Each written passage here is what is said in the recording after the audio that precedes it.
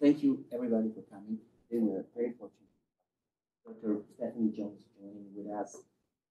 Although her appointment as associate professor in the Department of Neuroscience, her work is really translation because she works to fill the gap between what happened in terms of perception and uh, sensory motor uh, activity with what happened inside the brain in terms of network, circuits, dynamics, and single cell activity. So today she's going to present how she filled the gap here uh, between Right. these different modalities, as well as presenting a few very nice computational tools that I hope can help us as uh, scientists.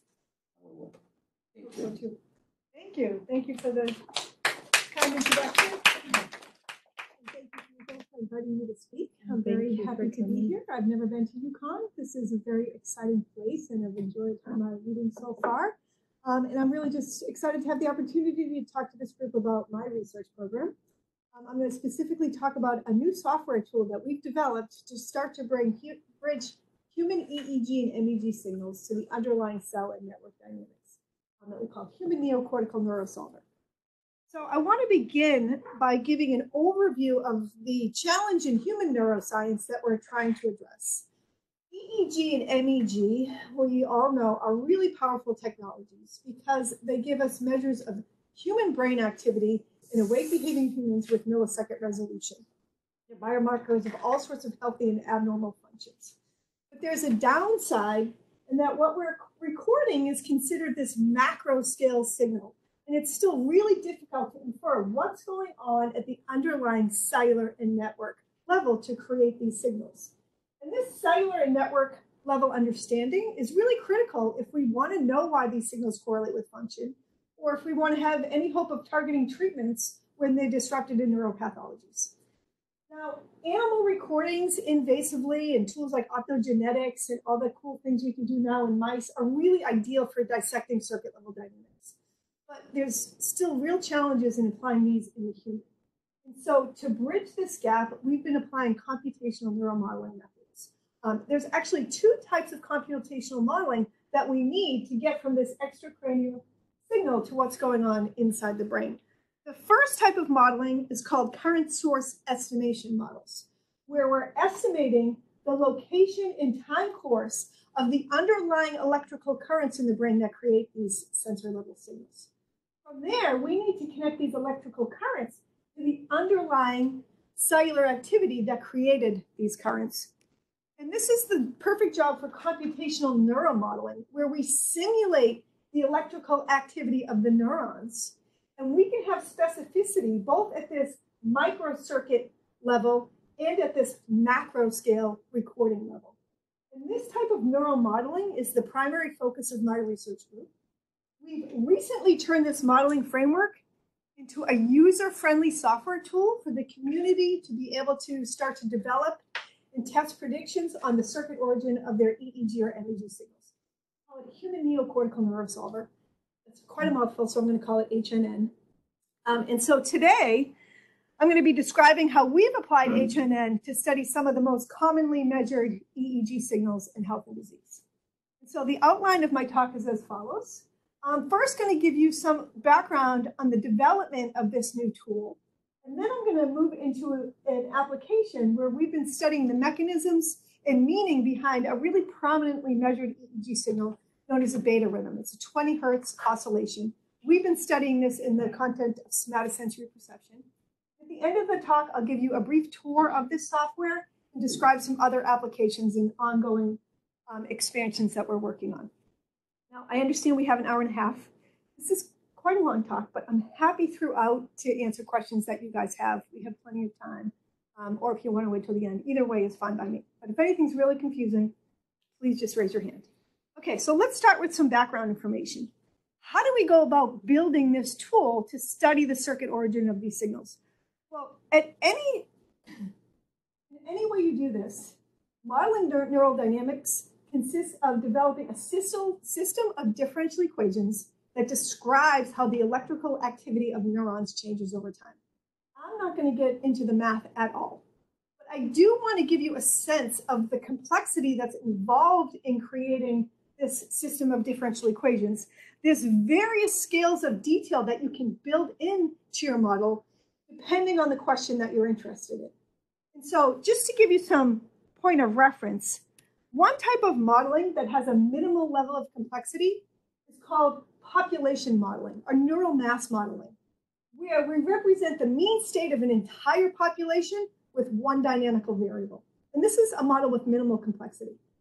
We could also go in and model the electrical activity of individual neurons and the coupling between them. We can do this in re reduced form and collapse everything about a neuron to one point. We call these point neurons. Now, EEG and MEG primarily are reflecting activity in the cortex, the outer structure of the brain. So we can start to build in some of the anatomy and the physiology of the cortical structure. Or because it's a model, we can simulate all of the detailed anatomy and all of the neurons and all of their synaptic connections. Obviously, the more detailed you build the model, the harder it is to construct. Got many more differential equations. The harder it is to compute and simulate, and the harder it is to understand at the end of the day. And so, one of the biggest challenges in this field of computational neural modeling is deciding what is the right scale of the model to build to answer the question that I'm interested in. And the model that we've chosen is at this level right here, where we've included some of the anatomy and the physiology of the cortical circuit, but not all of the finite details.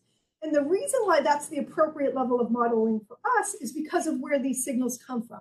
And so now I want to show you where these signals come from and step back into why this is the appropriate scale to use for the neural model. So when you record EEG or MEG outside of the head, the first thing that you can do is imply this inverse solution method. What the inverse solution method does is it estimates where in the brain did this signal come from and what is its magnitude and time course. This electrical current is known as a primary current. It's a big electrical current that creates we record outside of the head. And so you can estimate from your sensor where that is and what it looks like over time. Then you have to think about how are these electrical currents related to the underlying neural network. These big electrical currents come from the intracellular postsynaptic current flow and these long and spatially extended cortical pyramidal neurons. These dendrites are aligned in such a way that you get this huge electrical current across a large population. This big electrical current creates an electric and a magnetic field that you record outside of the head. So knowing that this is where this signal comes from, there's some key canonical features of cortical circuitry that you need to take into account when you want to build a model that represents this particular signal or electrical current. And I apologize, I keep. Sorry, this is a Don't fun blind me. scene. Yeah. There's lot of cats running around here. Lasers on star. Where is it? Uh, Good thing I don't have that stick. Okay, so what are the key canonical features of cortical circuitry to consider? Well, the first is cortex is a layered structure. There are pyramidal neurons with these extended dendrites in both the supragranular and infragranular layers. There's also inhibitory interneurons in these layers that are important for how they contribute to the network dynamics, but they don't contribute to what you record, uh, directly contribute to what you record outside of the head. These cortical networks don't sit in isolation. They're always receiving input from other parts of the brain. And there's two primary pathways of input to consider. Um, one is what's called lemniscothalamic input. This is the input that's relayed from the periphery through the thalamus and into the cortex. Up to the granular layers and then propagates to the proximal dendrites of these pyramidal neurons. In our model, we call it proximal drive because of where it hits the dendrites. There's also another pathway of input to the cortex right into the supragranular layers. This is the input that comes from higher to lower order cortex, where there's also these non-specific thalamic nuclei that project right up to the supragranular layers. And so you have to account for these two distinct pathways of input to the local circuit. The primary electrical current, what I talked about, comes from the intracellular current flow across the whole population of pyramidal neurons. And so the units of measure are current over distance, nanoampere meters.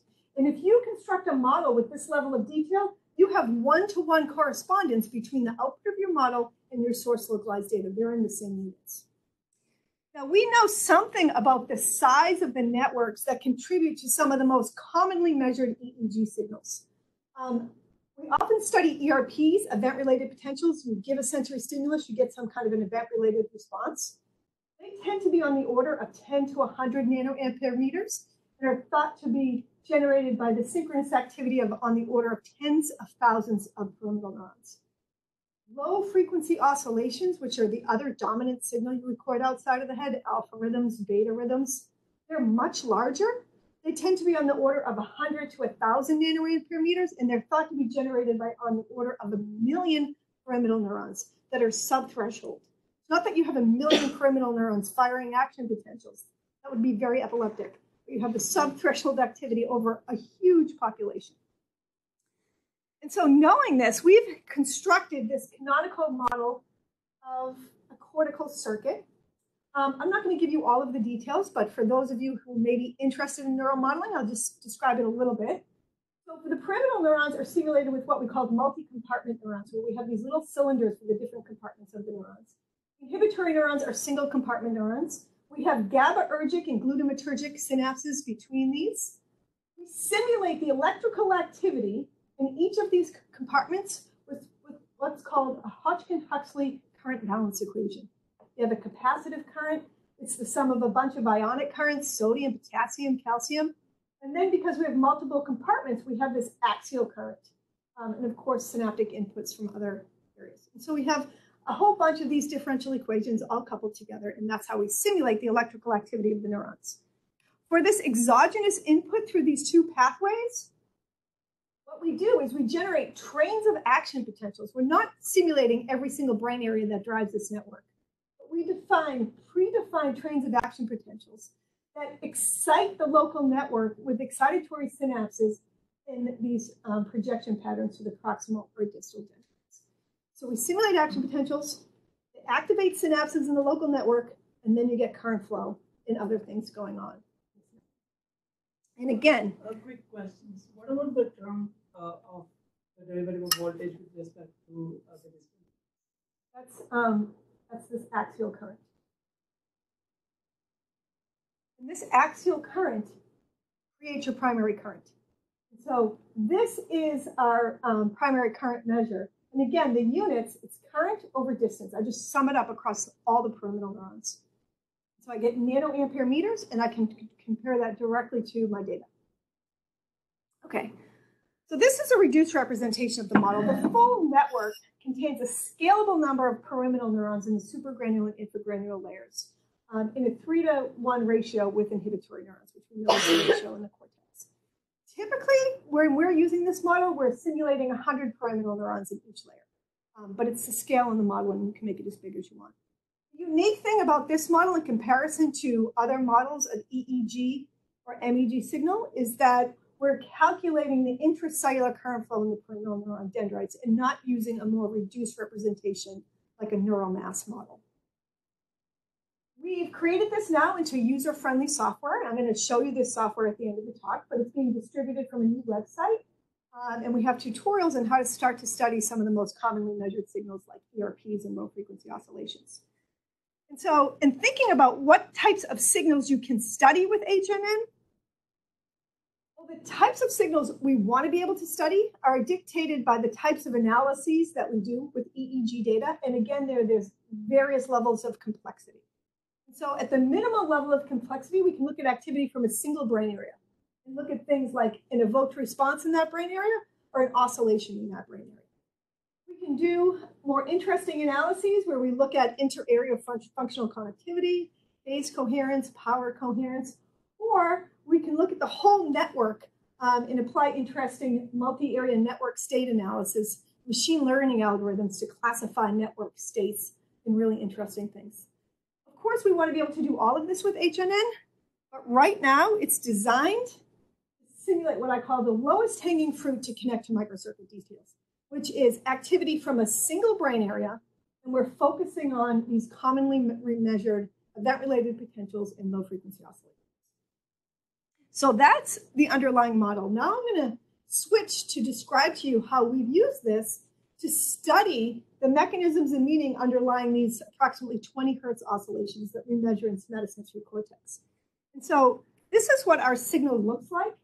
We do these tasks where we have subjects sitting, we're briefly tapping the finger. We're asking, did you feel that? Did you not feel that? And then we're looking in the brain to see, well, what are the markers of um, detection or perception? And so when the subject is sitting with either MEG or EEG, we see very consistent phenomena at each. We do a source localization analysis to isolate the contribution from the hand area of S1. And this is what the signal looks like when the subject's just sitting there before I tap the finger. And what you can see is there's this large amplitude, low frequency oscillation. If we put a frequency filter on this signal, this is frequency over time, you get high power in this 20 hertz, what we call beta band. But the power fluctuates at any moment in time. And so one of the questions that we asked was, does the power in this pre-stimulus period before I tap the finger predict whether the subject's going to feel that tap or not? And the answer to that question is yes. Here I'm showing you we average across time, we average across the beta band, we average across subjects. And now I'm sorting from low to high power for any trial and the probability of detection, which is um, a hit rate from the mean. So the higher it is, the more likely you are to detect.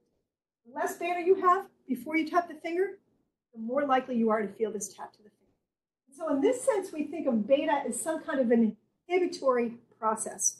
We've also seen that these beta rhythms go away with attention. If I say pay attention to your finger, you decrease beta, suggesting that you're getting this oscillation out of the way for optimal information processing. We've also seen that power increases with aging, which presumably maps onto a decrease in tactile detection acuity. Um, in the motor system, beta oscillations are overexpressed in Parkinson's disease, where they have trouble initiating mo movement.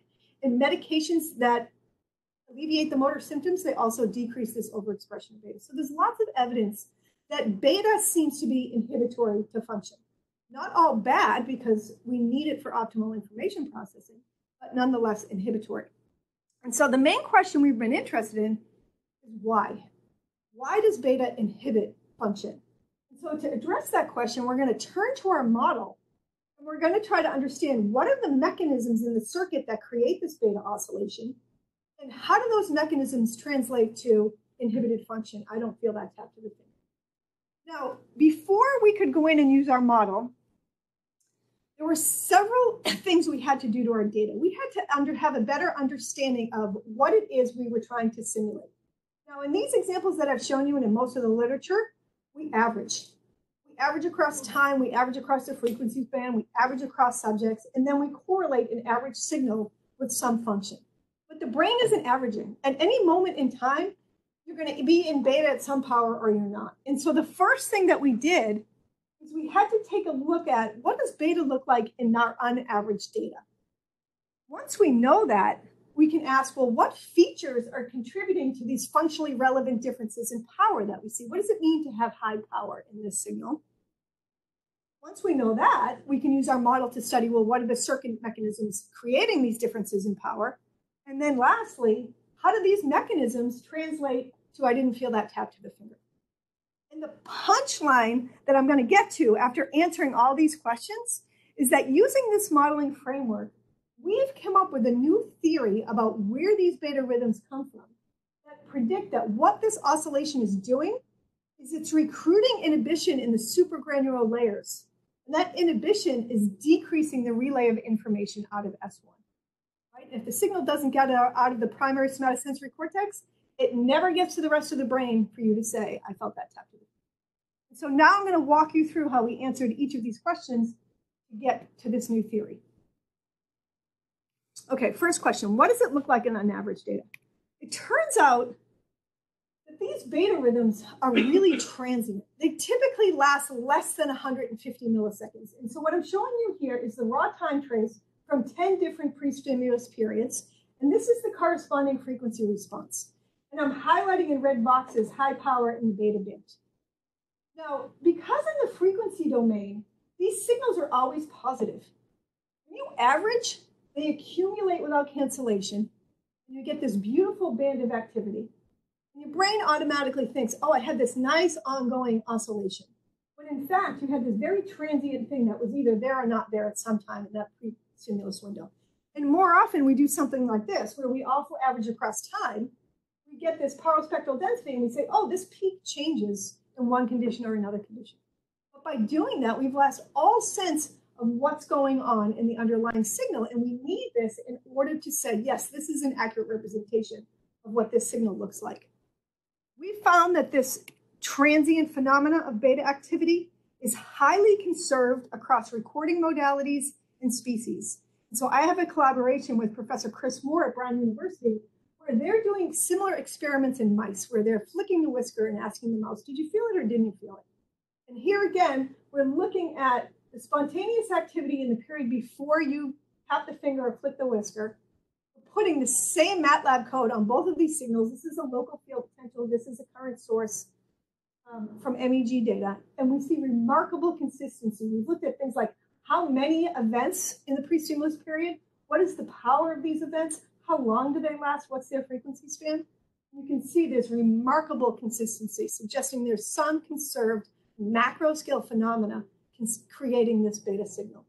Um, I want to point out that we now have this toolbox, this open source toolbox, so that you can start to look at your data using these event analyses. The other thing we've seen is that if you look at the waveform underlying this high power, and so here's the raw signal, we go in the frequency domain, we find a high power event, and then we just pull out the raw signal. And here I'm overlaying 50 high power and beta events on top of each other. And this is the average across multiple subjects. And what you can see is there's remarkable consistency in this shape. There's a stereotypical waveform for these macro scale things that consists of this negative deflection where this lasts approximately 50 milliseconds. Because that lasts 50 milliseconds, you put a frequency filter on that and you get high power in the beta band. But it is not a 50 millisecond oscillation. You had an oscillation, you also get high power band. There's a very statistically significant shape here that suggests there's some really robust underlying phenomena. I want to emphasize this point that different waveforms give exactly the same high power in using frequency analysis. And so here we have three very different waveforms. I put the same frequency filter on them. They all give me high power at approximately 20 hertz. The mechanism in the brain that can create a signal that looks like this versus this versus this is very different. And so taking a step back and understanding what our signal looks like can be very powerful in connecting it to how could the brain create that signal. Now, this middle one is the waveform shape that we see in our somatosensory cortex. We've seen similar things in motor cortex where the um, sharpness of this peak reflects motor deficits in Parkinson's disease. When they have DBS, that sharpness goes away. Um, they've also been seen to track errors, motor errors in motor cortex. And so there are more and more studies showing that this is a robust phenomenon. Okay, what does beta look like? They're transient, event, I call them events, uh, and they have this stereotypical waveform. So given that, what does it mean to have high power? And so when I first start, started studying this oscillation and thinking about how do I get high power, you automatically think, well, high power, I have a larger amplitude oscillation. I have a bigger network contributing to my signal. But now that we know these things are transient, there's several features that could contribute to a high difference in power over average from low to high. So here I'm showing you, it could be that we have a different number of events. So this is a pre-stimulus period. Could have one event or two events that are equal power.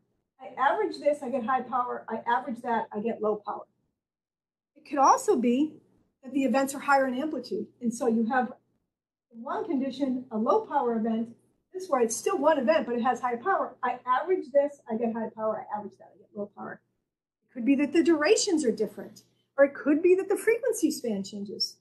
Any one of these could underlie a functionally relevant difference in power. And so we ask the question in our data, well, which one is contributing to a high versus low power? And it turns out that it's very clearly the number of events. And so here I'm showing you a, a correlation between low to high power and low to not high num number of pre-stimulus events. This is for the power of the events, the duration, and the frequency band span, and this is just a Pearson's correlation coefficient over 10 subjects. You can see very clearly that as power goes up, it's because the number of events has gone up. We're getting more of these in the pre-stimulus period. Again, we saw this phenomena highly conserved across tasks. This is, we did this task where we looked at shifts in attention and across species, similar in the mouse somatosensory cortex. And so when we have high power, it's because we had more of these events happening in the pre-stimulus period. Now, does that mean that's because we have more events that we don't feel the tap to the finger? Maybe there's something different going on that's impacting perception. And so next we looked at how do each of these features correlate with perception. And so here is our human detection task. What I'm doing here is I'm sorting the number of events from low to high, their power, their duration, the frequency span, and then I'm correlating that with detection as again a hit rate as a percent change from the mean. So the higher it is, the more likely you are to feel it. You can see very clearly that the only statistically significant effect that we found was with the number of events. If you have more events, you're less likely to feel this tap to the finger. We also looked at it in our attention data. And as you pay attention, you're less likely to have an event in the hand representation. And again, we saw something very consistent in the mouse data. So what the brain seems to be doing is when I say pay attention to your finger, you decrease the probability of these beta events occurring in the finger representation. And by doing that, you're better able to feel that tap to the finger. So the next natural question is, well, does the timing of that event matter? If an event came right before I tapped the finger versus a long time before I tapped the finger, does that matter? And the answer to that is also yes. What I'm showing you here is the timing of the most recent beta event. I'm going to tap the finger. When was the beta event before it? The closer the event is to the time of that tap, the less like, the more likely you are to say, I didn't feel the tap. So if they're closer, the effect lasts approximately 300, 400 milliseconds. And again, similar in the LFP in the mice performing vibrissa detection. So, what features underlie functionally relevant differences in power? Number of beta events is greater during non-detected trials, um, not during sorry, non-attended, non-detected trials, and non-detected trials have more recent beta events. So now we can get to the real question, which is what are the circuit mechanisms that create this phenomena? Why do those mechanisms translate to I'm not going to feel that tap? And so we're going to turn to our model, we're going to use this model to understand the mechanisms that create this stereotypical beta event. Now, this is a large scale model, thousands of differential equations, hundreds of thousands of parameters. And you have to have a way to kind of constrain this madness. I always get the thing, well, can't you produce anything you want with this model in a hundred different ways? The answer is no. There is structure in here that dictates what you will see. Um, and there was a method to constraining this model. And our method was as follows. The first thing that we did is we built the individual neurons we fixed their morphology and their physiology so that they reproduced realistic spiking patterns to injected current. And so these guys fire adapting spike trains, these guys are bursting. This is based on a lot of literature um, of the physiology and somatosensory cortex. And we fixed all that. All those equations, all those parameters, we fixed them. Then we built in the local network connectivity. And again, there's a large body of literature of how cortical circuits are connected to each other and we fixed all that. The only parameters that we started playing with to understand where does this come from were the timing and the strength of these exogenous inputs, generating these trains of action potentials that drive this network in some way. And that's what we played around with. And from a long history of trial and error in using this model in a million ways that it didn't work, we came up with a prediction of how it might work which is as follows. The model predicts that we have two bursts of activity that hit the cortex at the same time. And as long as this one is strong and lasts 50 milliseconds, you get a beta event. And to see why that comes about in our model, we look at the histogram of the drive. So this is what we call the proximal drive. This is the burst of input that's going to come up, the proximal dendrites. It's simultaneous with this burst of input to the distal dendrites. Now this input hits excitatory synaptic currents. This proximal drive, what that's going to do, it's going to come in and it's going to push current flow up the dendrites. So if I only had the proximal drive, I'd get a waveform that looks like this. But at the same time, I have this distal input coming in. It's pushing current flow very strongly down the dendrites and breaking that upward current flow. And so now we get this nice waveform where the reason that this is a beta period again is because this distal drive lasts 50 milliseconds. Now this was a prediction that came out of our model and showed very close agreement with our human data. But because we have a lot of detail in this model, we could go in and test it animal recordings. And we were fortunate enough to have collaboration with Chris Moore Brown and also with Charlie Schroeder and Saskia Haegens um, at the Nathan Kline in Columbia University, who had laminar recordings from both mice and monkeys. And we went in and we looked for evidence of this model prediction and found, in fact, validation that this was the mechanism creating these stereotypical beta events. Um, so this is very exciting, of course, because the theory came from developing a very biophysically principled model that could simulate this signal with one-to-one comparison and led to this new prediction that we then found evidence for. Okay, so here's our prediction. Beta events emerge from a broad proximal excitatory synaptic drive that's simultaneous with a strong distal drive. And this distal drive lasts 50 milliseconds. That's the mechanism. So how do these mechanisms translate to I didn't feel that tap to the finger? Remember, you have this in the pre-stimulus period. If it's there, nope, I didn't feel it.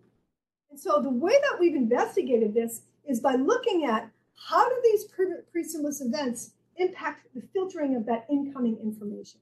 And so we looked at the sensory evoked response. So you tap the finger, you get an ERP and somatosensory cortex. This is what it looks like.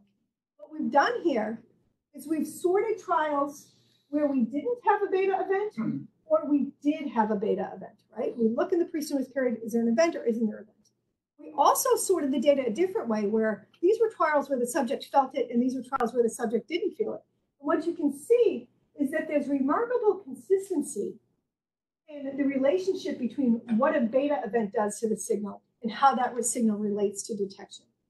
When you don't have an event, you start higher and you get this briefer and sharper rising waveform. If you did have an event, you start lower, then you get this broader peak in a shallower rise.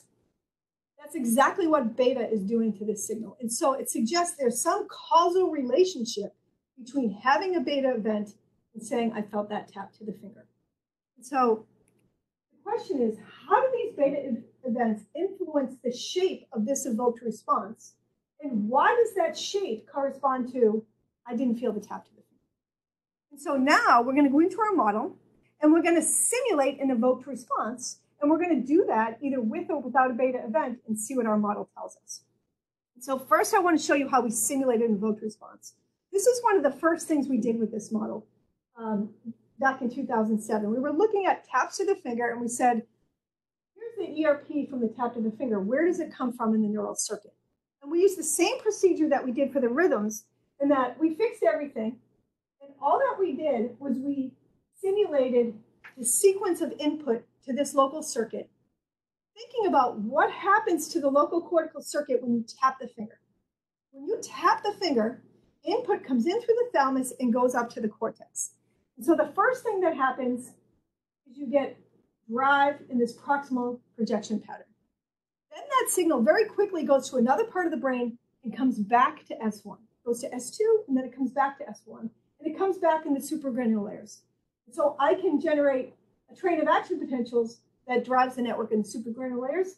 Then you get a thalamocortical loop of activity and you get more proximal drive. This sequence of drive is motivated by a large history of literature. We built it into our model to see, can this sequence of input that happens after you tap the finger account for the ERP? And in fact, it can. The blue is the output from the model. The black is our actual data. So what did I tune here? I tuned the pattern of this drive and the strength of this drive. And by doing that, I could recreate this waveform. The other thing I want to point out is that this sequence of activity is also able to account for ERPs in other brain areas. So this is a somatosensory evoked potential. This is an auditory evoked potential from a, a letter. This is from a brief flash of a checkerboard in the visual cortex. And you can see there's differences, but they all go up and then they go down and then they go up again. With the same sequence of drive, but tuning the parameters of that drive, we could reproduce the signature.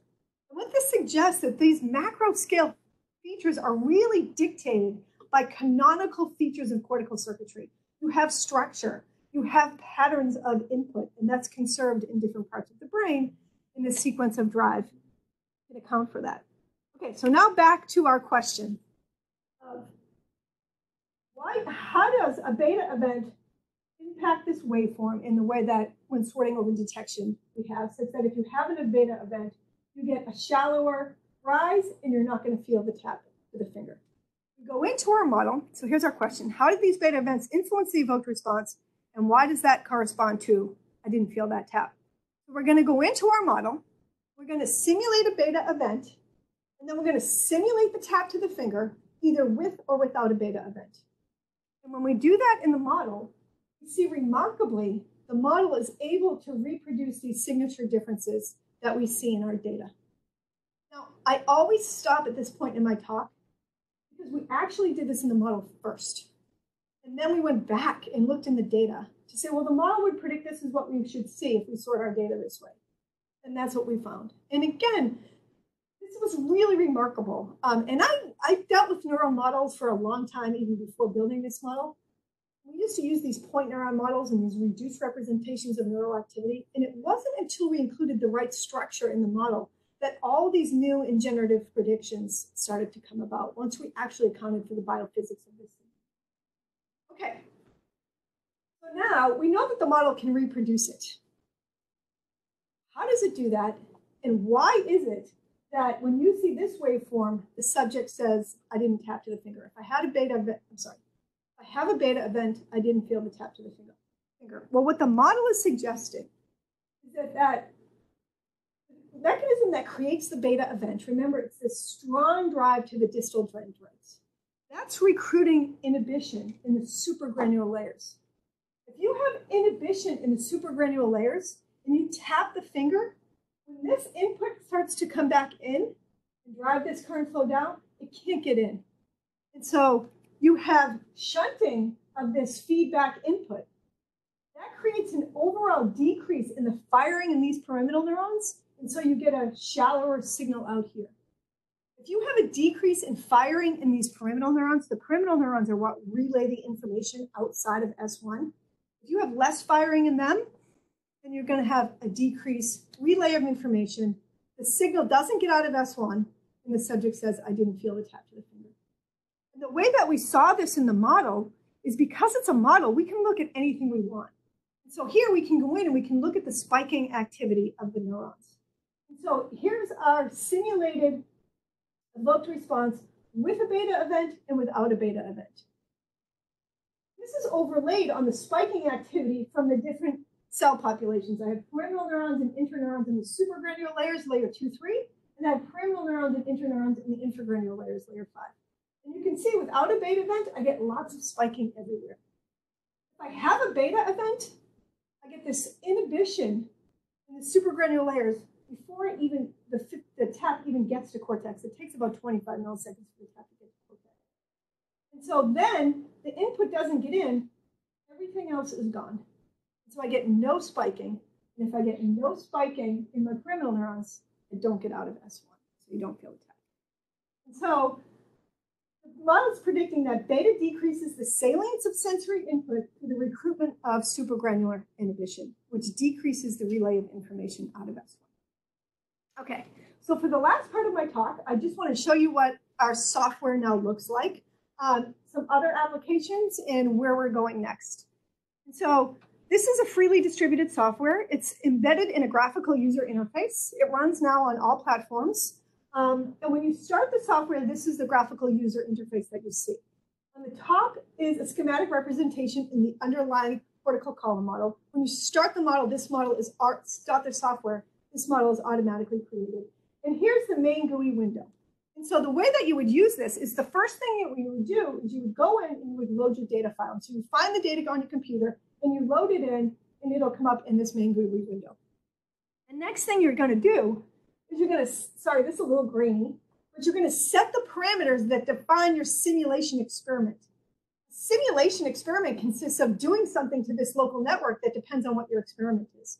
In this case, we're going to simulate an evoked response. And so I'm going to go in and I'm going to define this sequence of drive. I've already done that here. Then I'm going to hit run simulation and the output of my model is going to be shown overlaid with my data. So you have this one-to-one comparison. Now, and obviously I've tuned this model to get a nice representation of the data. Suppose I have a patient population and the waveform looks different. And I think, oh, I think it's because there's some kind of disruption in the EI balance, the local excitatory to inhibitory connectivity. I can very easily go into the model, change the EI balance, re-simulate my network and see what did that parameter change do to the output of my model. And so you have this nice interactive GUI where you change parameters and you directly see what that does to the signal. And again, because it's a model, we have our macro scale signal, but we can also go in and look at the micro scale activity. And so you can go in and you can view the layer specific responses. You can view the spiking activity of all the different cells in the network. You can look at the frequency response. There's lots of different ways that you can go in and say, what is the detailed prediction? And then use that detailed prediction to go validate it with other imaging modalities or invasive recordings or something else. Again, this is distributed through a website. We have lots of information there, simulating ERPs, oscillations, alpha rhythms, beta rhythms, gamma rhythms. And our hope is that by teaching the community how we did this, and we give you our data and our parameter sets, you'll start to get a sense of how to apply it to the signals that you have. Okay, so, so what are the, some of the other applications? I've shown you that we've looked at these oscillations in these ERPs. My group is now starting to use some of this information to try to develop new brain stimulation paradigms. So we know that these beta events are transient and they're created by these bursts of input. And so we're starting to create new TMS patterns that represent this burst of input in the same pattern that the cortex is doing. We don't have any data on that yet, but we hope to soon. We've also used the model to look at the impact of transcranial alternating current on the circuit. So we did this study where we did 10 hertz transcranial alternating current to S1. We wanted to see, can we impair perception? We didn't, and we didn't drive 10 hertz oscillations, but we did see a difference in the tactile evoked response before and after we did tACS, and we used the model to test the prediction. Was that because we had some change in the synaptic efficacy between the neuron populations? And it turns out changing the GABAergic synapse specifically could account for the difference that we saw in our data. Other groups have used this to look at cortical differences with autism, where they've seen some differences in beta rhythms and gamma rhythms in typically developing versus autistic children. And they had some predictions about how feed forward and feedback pathways contribute to that. Uh, we're collaborating now with a group group at the West Haven VA Hospital who's collecting EEG and looking at signatures of improved improvements in depression with ketamine. So we're using the model to try to understand what is ketamine doing to the circuit that then maps onto the EEG signal. We also have some ongoing studies in development. We're collaborating with Doug Cheyne at Sick Kids in Toronto, who's looking at motor evoked potentials and their role in response inhibition and development. And this got cut off here, but we're starting to use HNN to simulate that signal. There's several directions which we're trying to expand the software. One thing that we're doing is we're integrating it with source localization software. So the first thing you do with your signal is you source localize it to say, where did it come from? And so we're integrating, I'm collaborating with Matti Hamalainen at um, National Hospital. So you'll have one package where you can do both your source localization and your circuit interpretation. We're also trying to expand it so that people can bring in other models. And so right now in the software, you get our model. If you know how to code in Neuron Python, you can change our model. It's open source. Most of the community doesn't. And it's hard right now to build neural models unless you have the expertise in that. This group at SUNY Downstate has created this new platform called NetPyNE. It has a graphical user interface and it's allowing people to very easily create network models without having to do any coding. Again, you can do coding if you know how, but if you don't, it's a really, I think, powerful tool. It's brand new. Um, and we're also working on visualizing things like local field potentials and its current source density, ECOG, all of this stuff can be calculated. It's, it's just more math, um, and we're just still working on that in our software. So that brings me to the end of my talk. Uh, my conclusions are that HNN is this neocortical column model, column model under thalamocortical and cortical drive that simulates the primary currents that create EEG and MEG based on their biophysical origin. By combining this with invasive recordings, we've come up with a novel prediction about where these beta rhythms come from. It's also predicting that they're decreasing the salience of information through the recruitment of supragranular inhibition, and we're working on testing that prediction now with collaboration um, with our collaborators who are doing animal recordings. The software is distributed through this new website where we have documentation, installation tutorials, we have a users forum for troubleshooting. And hopefully I've convinced you that HNN can be applied to uncover circuit mechanisms underlying EEG and MEG signals in health and neuropathology and hopefully ultimately aid in the development of new treatments, either with pharmacology or brain stimulation. Um, I just want to end by thanking my collaborators. My interdisciplinary research program requires a lot of collaboration, um, and I feel really fortunate to have developed this network of interactions that allow us to do this multidisciplinary research. I'm highlighting here the HNN development team. It's developed by a team at Brown, at Yale, the Neuron team, um, and his team at Mass General Hospital. We have funding sources, um, and with that, I'll leave you with my conclusions and happy to answer questions.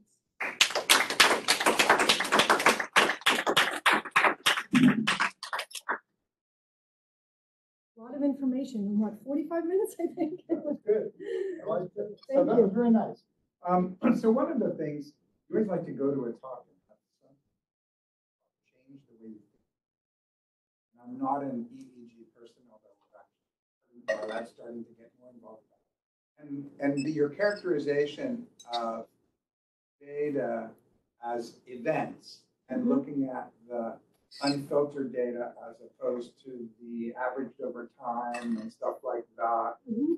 I think is, is a, a fascinating way to look at it and that you essentially have, by calling them events, you're focusing on individual occurrences of Yes. these particular patterns. Yep. Which, you know, I think, speaking as somebody who's not really an EEG person, sort of by the traditional view that it's an oscillation that's sequential, like the example you showed to the left, that everything's squiggling at a certain frequency. You know, if you'd have asked me before your talk, I'd have thought, well, that's pretty, probably pretty common. But essentially, you get me thinking, no, that's right. When you go in, in a sense, averaging obscures the reality of what's happening at the circuit level. Exactly. And then is, is that, you're looking at alpha, for example, another Mhm. frequency uh, bands. Are you seeing the same thing too? Are there alpha events? Or, Yes. you know, gamma events, things like that? Absolutely. Um, if you close your eyes and you record in the back of the head, you see beautiful continuous oscillations. Right. If you hold something really tight, your beta continues on. And so it depends on the experimental condition. Okay. When we're doing these detection tasks, um, but let me just say, I, I think of the reason that it's continuous is because I'm continuing to drive the circuit. You know, I've got this this action that's doing something different than if I'm just sitting there and I have a spontaneous oscillation. Uh, So the mechanisms that create these things, even though they're in the same frequency band, Mhm. they could be very different. Alpha in our hands, we see that it's also transient. So you can kind of see that when I showed those plots, they, there was alpha events and beta events. Um, and so we're seeing sim- similar phenomena in the wake behavior somatosensory cortex. That's not to say that there aren't these periods of shh, you No, see it Sure, sure. um, but you can quantify all of that. How often, how long do they last? And we also see that alpha doesn't last very long. It's less than 300 milliseconds. Right, right. One could infer that the power was because you had longer trains of the oscillation, but what you're saying is really Maybe the not. best contributor to the overall power is simply the number of those individual events, some of which are buried in, in, in, you know, a, a few milliseconds of that pattern, but some of them could just be a bunch of individual events that are just kind of Exactly. thrown in there. Okay. And so we're thinking about theories about why these oscillations matter for function. It's a very different thought process if you think of them as stochastic events versus Right, something that's right. setting up a phase. Not that the event doesn't have phase information in it, Mhm, and there are mhm. different parts of that, different things will happen. But in creating theories around oscillations and why they matter for function, I think we have to step back a little bit and think more critically about what is our oscillation really mean? What is a change in power, which is what we what it what does that mean? What is Right. phase locking mean Right, right. if you don't have a reliable measure of phase? And I think more and more um, the field is moving that direction. Right, And if you don't mind a follow-up. Yeah. The, the flip side of seeing the data events suppressing the impact of input, the flip side of that is whatever turns off the beta events essentially could be something important for attentional processes, arousal, things like that. Yep. And we do see that attention turns them off. Okay. Um, and I didn't talk about this, but we think that, you know, so we have these bursts of input and they drive the cortex. I didn't talk at all about where they come from. We think that they're coming from different thalamic nuclei. So we've got this lemniscal and this non-lemniscal thalamic pathway.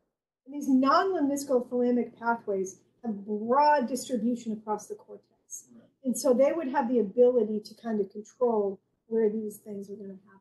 You're talking like intralaminar thalamus? Yes, yeah. kind of For us, we're looking at uh, projection. VM. Okay, all right. Um, yeah. okay. But theory, we're not sure. It could be S2, it could be motor cortex. All we know from our model is that it's supragranular.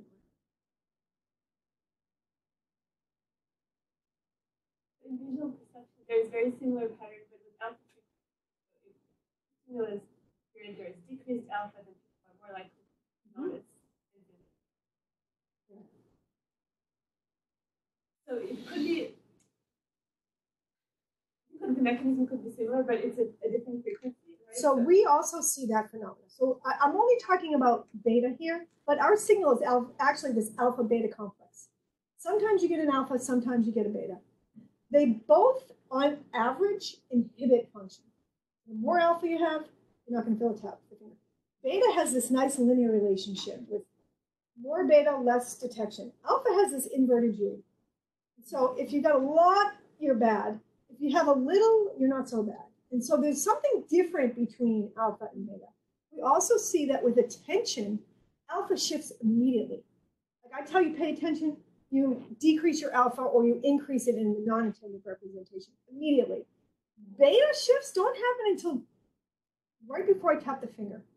And so the subjects learn very quickly that even though I randomize the tap of the finger, you get at least a second. And so it's like 800 milliseconds. Now they start to use beta, immediately in this attention test, We're immediately alpha engaged. So there's something separable about them. In our model, the way that we get alpha is we take these two inputs, we delay them a little. And if I delay them a little, this one pushes you up, this one pushes you down. Each lasts about 50 milliseconds, and you get 100. And so that's the mechanism in our model. We have a paper from 2009 where we show that if we had stochastic input, they're both going at 10 hertz, right? Sometimes they come in together, sometimes they come in in part. It's stochastic on any cycle of this 10 hertz input. And we get this beautiful alpha beta complex that matches all these features of our data. We're still working on testing a lot of this. Thank you very much for um, account. Very exciting that having a level TKO was happening. Don't know that. Mhm. Uh, so uh, uh, one thing I'm curious about is, um, uh, I mean, I'm thinking of this first program as a, how, um, so is it possible that a signal or the very same waveform by totally different uh, contributions from the neuron cell. So is so or in other words, you are trying to optimize this optimization so it's complex or there Mhm, could be mhm. a a lot of That's that's a very good question, and the answer is I don't know. Um, I when I first started with this, it was all hand tuning. There's no optimization. It was just changing parameters and getting a sense of what does this parameter do, what does that parameter do, um, and it was trial and error where we finally came to a mechanism that worked. And so we haven't yet gone in and said let's do a huge parameter sweep and see if there's a hundred other mechanisms that work because it makes sense. Like it's motivated by hypothesis, right? We know the thalamus is bursting at 10 hertz. We know that there's two pathways of information. So it wasn't totally random that I tried this sequence of input. It was based on some kind of hypothesis about what might be happening in the brain that drove me to try a specific parameter regime. Now, if we have the computing power, we can, of course, sweep through lots of different things and see if something else might have come. And maybe there's five there's not going to be 5,000 because it's dictated by structure. And there's EI balance. You know, you can't wildly change the intrinsic currents or you're going to get some weird behavior out of the cell. So you can't change everything without making things just be strange. So keeping things in a realistic regime, there's certain parameters that there's some flexibility with, particularly in the drive patterns. Who knows what that is? Um, and so that's where you can start to. Now, we do now have parameter optimization in the software, the evoked response, where if you get kind of a good representation, but it's not quite fitting, then you can run optimization around targeted parameters.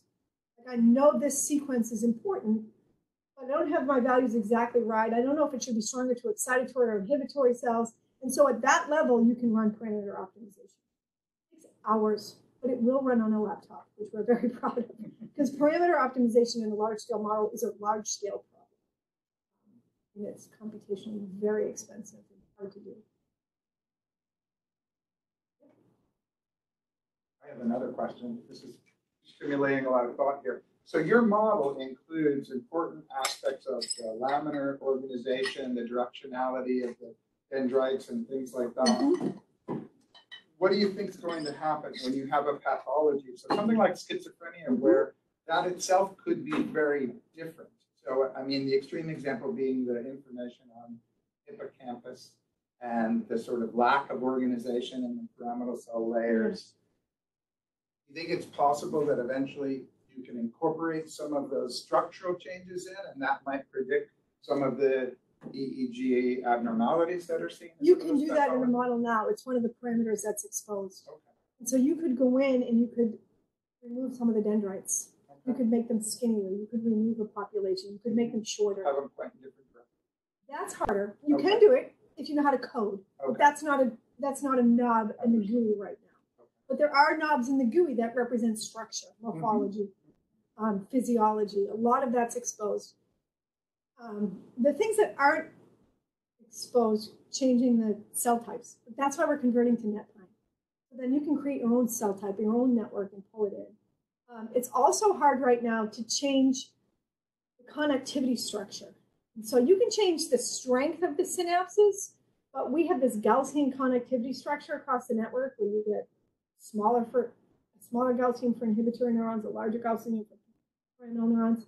That's a hard thing to change in the code unless you know how to do some coding. It's not it. No. But again, NetPyNE is creating a framework where you can create connectivity structures in lots of different ways easily. So once we have that, then any of these questions will be easier to answer. Right now, you get our model. Unless you know how to code, there's only certain things you can change. You can change a lot, but not everything. And if people have certain things they want to look at or change, we're eager to get the community using this tool. It's brand new. Um, and so we're happy to answer questions. If you say, I want to look at the calcium currents in this cell type, can you expose that? Sure. I mean, you can change right now the calcium conductance, but you can't look at calcium going up and down the dendrites for Maybe you want to, and we could easily do that, but we want to be driven by the questions in the community other than just go ahead. No, I was thinking that probably we should wrap up. Um, we have more time. Okay, good. Yeah, this room is so free.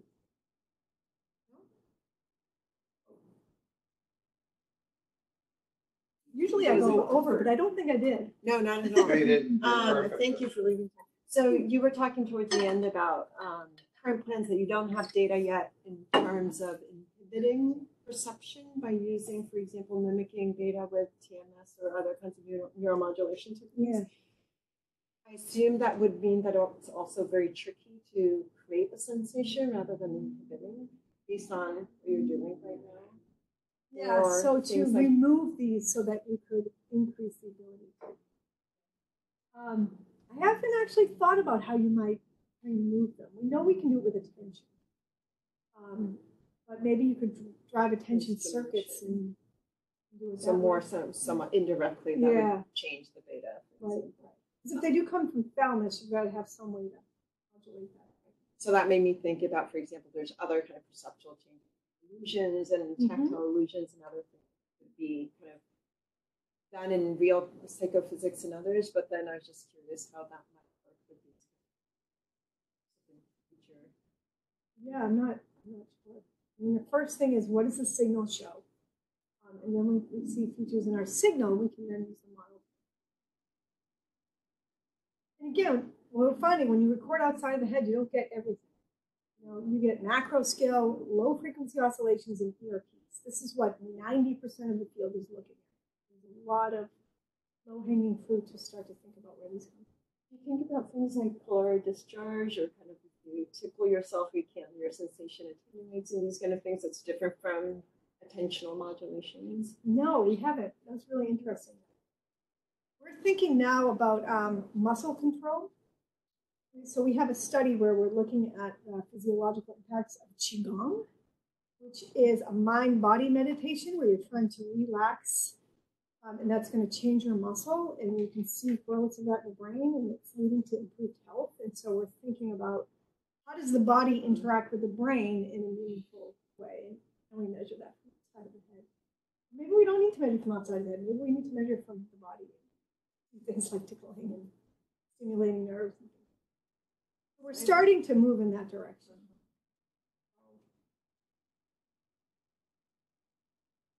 You mentioned something at the end that just totally fascinated me. I don't mm-hmm. know. You're talking about your participant, how they come to be able to measure that. And they modulate in response to what they're It seems to be. And so the actual experiment is we tap the finger every three seconds. Well, not every three seconds. The trial is three seconds. You get, you did two tasks. One was pure detection, where you get a cross, and then when the cross changes color, you have to tell me if you had felt the tap. And so what we did was between 1100 and 1600 milliseconds after the cue, we tap the finger. It's randomized. But there's a second. And we built that in so that we could look at what's the ongoing brain activity before we tap it. We don't tell them, oh, you've got a second. You're just starting to, you see the cross change. Now you have to respond. Now you have to respond. And when we did our attention task, it was similar. It said hand or foot. And so you had to pay attention. How many of you felt it in your hand or your foot, even though it might come anywhere? Um, and again, we waited till 1100 milliseconds or 1200 up to 1600 or 1700, randomized. But it was like we started seeing alpha effect, we started seeing alpha effects immediately after the cue. We didn't see beta effects until right before the tap came. And so it was like somehow they're the brain is predicting that I don't have to tell if I felt this for at least a second.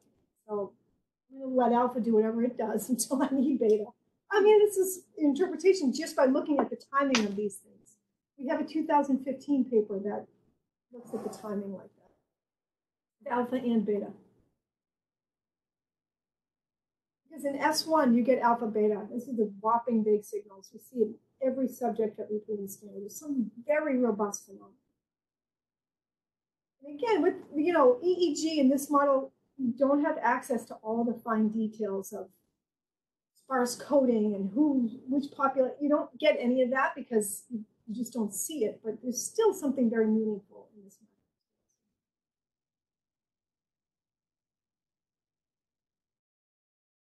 Right. Thanks, everyone. Thank you That's so much.